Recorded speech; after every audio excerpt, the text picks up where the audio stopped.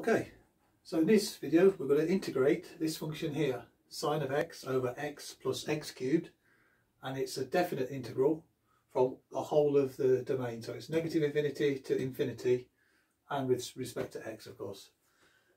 Now we've got polynomial in the denominator and a trig function in the numerator. So trying to find some way of integrating this in uh, real numbers, which is what this is in, it's going to be a little bit tricky. So why don't we take a, uh, a go with uh, the complex analysis?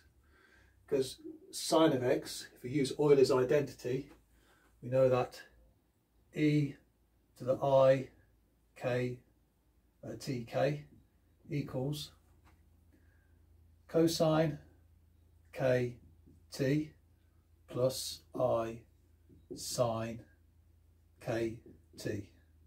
We put the kts in the brackets. So that's Euler's identity there. And as we're dealing only with sine, we could perhaps take the imaginary part of the answer and the real part, because it's associated with cosine, maybe we won't need it. So let's write this integral here in terms of t.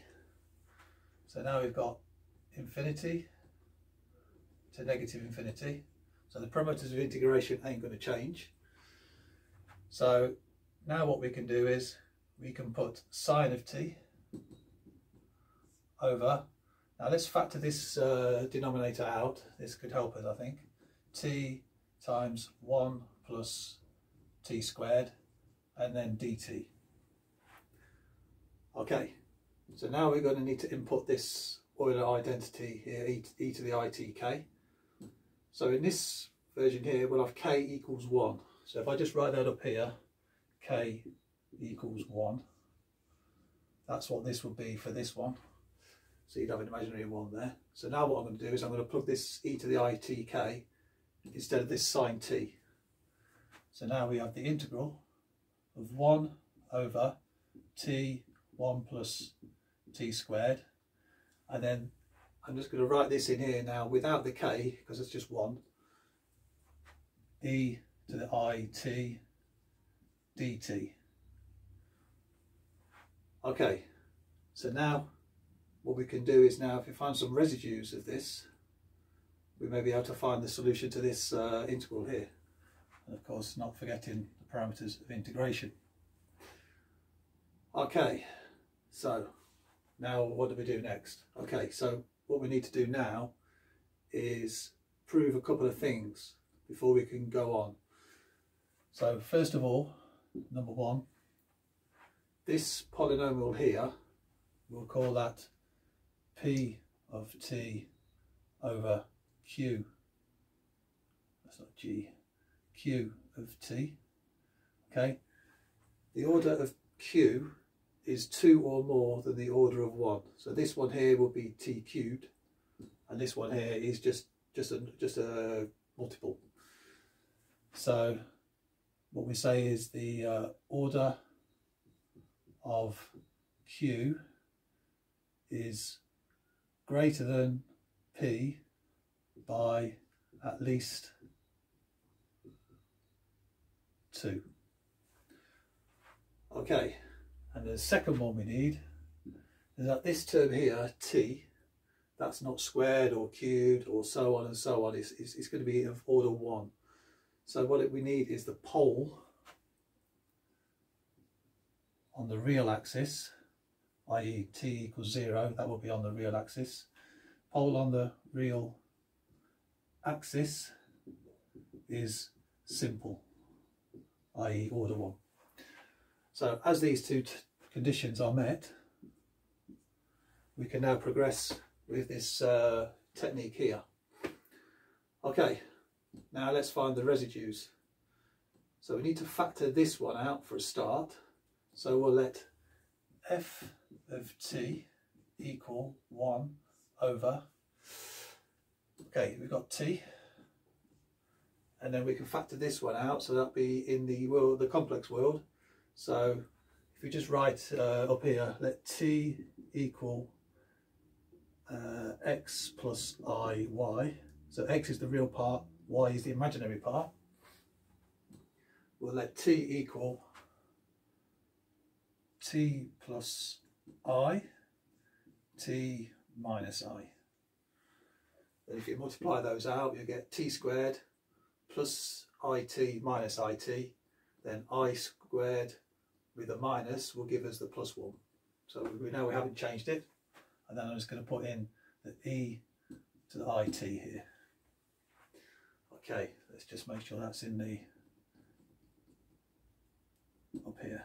Okay, right, so now let's find the residue. So the residues of f at 0.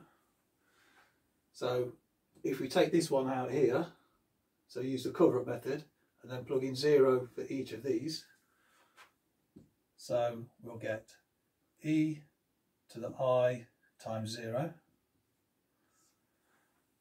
This will disappear because it's the cover-up method. Then we're left with 0 plus i, 0 minus i. Okay, e to the 0, that's going to give us 1. Then we've got 0 plus i, so i and minus i, that's then going to give us minus 1. Uh, sorry, plus 1. So then that equals 1. So the residue of f of 0 equals 1. So that equals 1.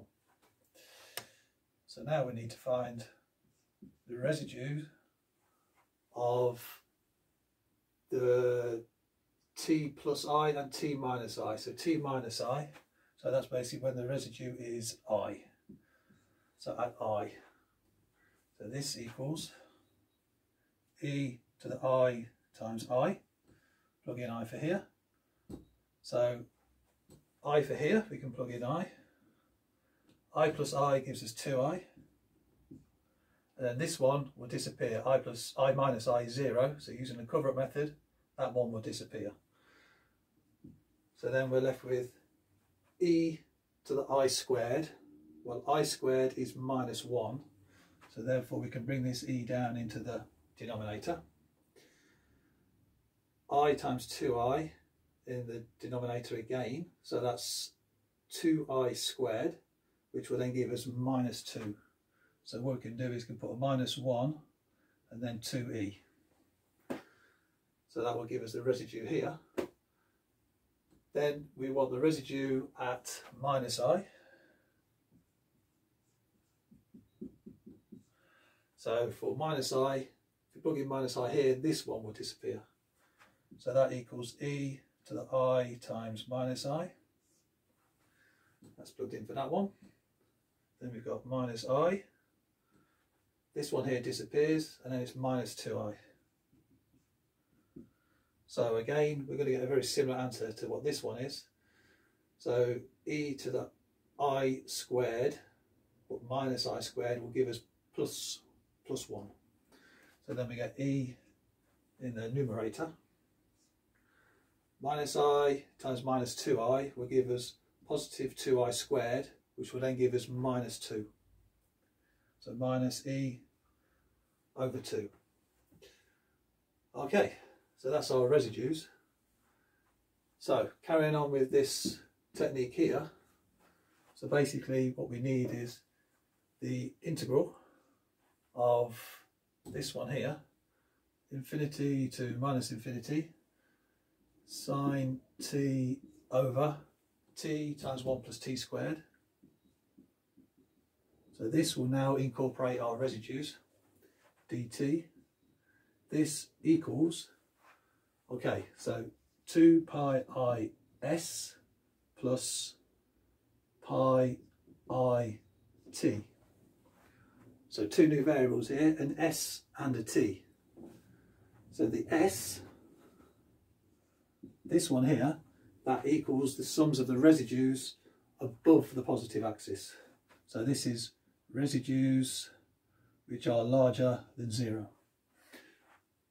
Okay, that's on the real, uh, sorry, on the uh, residues larger than zero. That's, uh, let's see, let's put this on a graph somewhere. So what we're looking for is the residues in this part. Okay, so that's our real, this is our imaginary. So the ones here won't count. And then our t equals the residues when we're at zero. So that's on this line. So actually, I won't put actually zero, I'll put the real axis. So hence, where poles on the real axis is simple. So that's why we need this one. Okay, so the residues we've got here are zero. So we've got one here, one at I. So imagine this is I. And then we've got one at minus I. So that's our three residues. Now we don't need this one. So this one's not needed. But we need this one and this one. So the residues above zero, that's the one at I. That is minus one over 2E. So S equals minus 1 over 2e. And the residue on the real axis, so that gives us t. t equals 1. Okay, so then that's going to give us our answer equals 2 pi i times s. So that's minus 1 over 2e plus pi i times 1. Okay, let's see if we can work this one out. This 2 cancels out. Pi i times minus 1, so that's minus pi i, but divided by e. So that equals minus, if I can just put the i in front actually, that will help us here. i, then minus pi over e that would take care of that. And this one here is just pi i. So plus i times pi. Okay, now let's just simplify this off here now. So we could put this out front, this one out back, sorry, this one up front, put the minus in the middle. But what we are interested in is, because we got sine, we're looking for the imaginary part. So what is this value of this as an imaginary part? So we don't need to write the i in anymore. So then this will give us pi minus pi over e.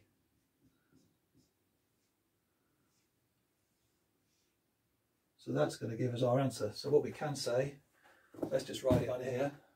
So the integral from negative infinity to infinity, sine of x, x plus x cubed dx equals pi minus pi over e. That's our answer.